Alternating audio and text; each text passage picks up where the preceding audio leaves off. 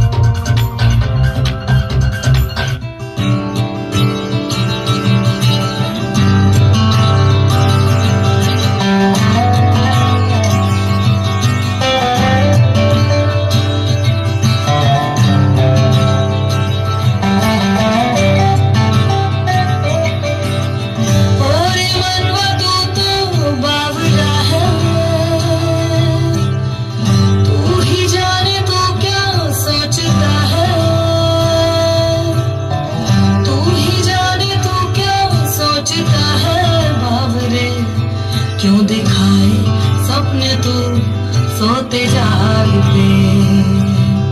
जो घर से सपने बूंद पूरे